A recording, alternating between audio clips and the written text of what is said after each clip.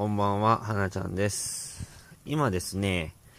えー、昨日からですね、JZX81 のツインターボが入庫してきてます。まあ何を隠そうですね、まあ自分の民からのあの、愛車ページを見てもらうとわかると思うんですけど、まあ以前は JZA70 スープラのツインターボ R に乗ってました。まあそんなこともありましてですね、もう 1J ターボ大好きなんですよ。あのー、まずですね、その、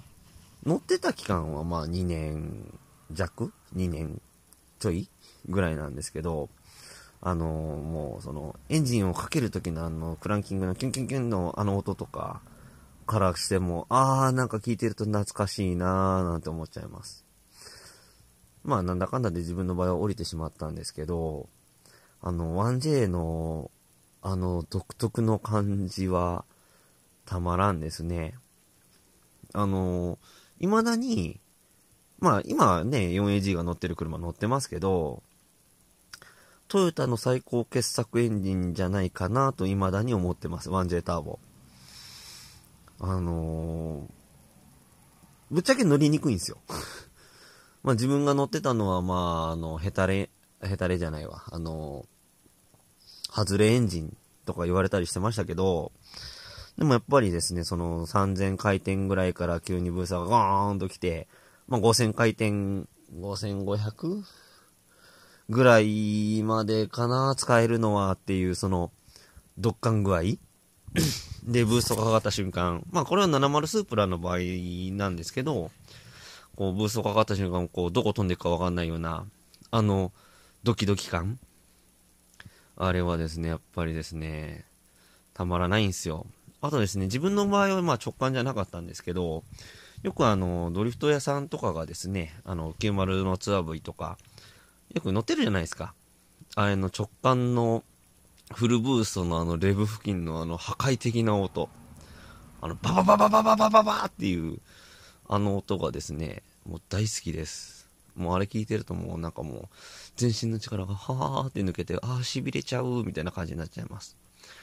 というわけで、実はトヨタ花冠は、えー、トヨタ花冠じゃない、花ちゃんは、えっ、ー、と、1J ターボ大好きです。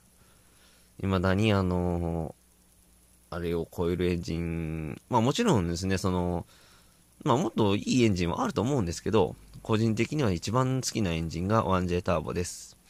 なので見てて、こう、ああ、我が青春の 1JZGT なんて思いながら見たりしてました。はい。えっ、と、今日はですね、じゃーん。この本買ってきました。街道レーサーモデリング。あのですね、まあ、たまたま本屋さんへ行ったらですね、置いてて、チラチラーと立ち読みして買ってきちゃったんですけど、あんま見せるといかんのかな著作権法違反とかなると思うんですけど、まあ、このスタンス系の話とかもちょこちょこ出てたので、面白いなぁと思って買ってきました。やっぱこれぐらいまで作れるようになったら、もっと面白いんだろうなぁなんて思ったりして見てます。あのー、その、いじりのセンスとかもですね、あんまりチラチラ、チラチラとだけにしてきますね。センスとかもですね、やっぱなんか、ああ、さすがだなっていうのがほとんどなので、個人的にはこれおすすめです。あの、昔ですね、こういうプラモの本で、え、っと、模型好きが作る、あの、改造車のプラモじゃなくて、改造車好きが作るプラモの本があったんですよ。もう、なんていう題名だったかが思い出せないんですけど、も、こう自分が高校生専門学校ぐらいの頃のやつなんですけど、あれもなかなか面白かったんですけど、まだちょっと、うん、ああいうのがまた出てくれないかなと思ってたので、今はボリューム9ってなってますんで、まあ、これからもどんどん出ていくと思うんですけど、これなかなか面白くて好きです。それでですね、ゲーセンキャリーですけど、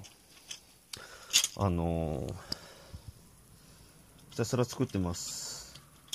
シルクスクリーンデカールとか、あとは、あのー、なんだ、なんだ、あれどこ行った？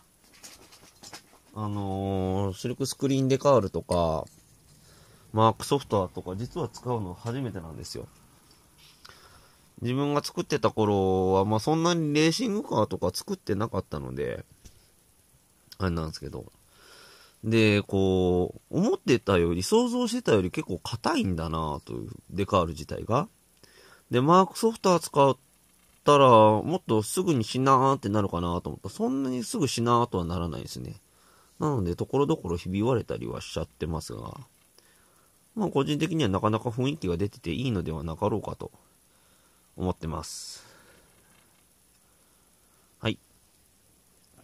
はい。はい。はい。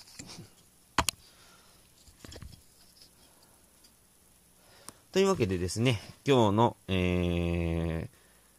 今日はまあ 1JZ ターボ、1JZGT ノスタルジアですね。あの、皆さんももし、あの、サーキットとか行く機会があって、1J の直感の直感が走ってたら、フルブースト付近の音を聞いてしびれてみてください。じゃあまたね